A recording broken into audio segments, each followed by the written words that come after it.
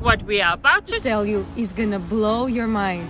On the other side of the globe, there can be a nation that speaks differently than you, but has the same culture, traditions, and habits due to the environment and climate. My name is Anna, and I'm from Siberia.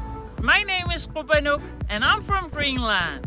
We both have northern lights, similar animals like reindeers and Arctic foxes.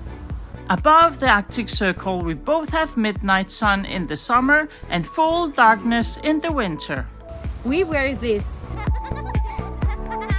And we both eat a lot of fish. We both ride dog sleds. In Siberia with Siberian Malamute and in Greenland with Greenlandic sled dogs.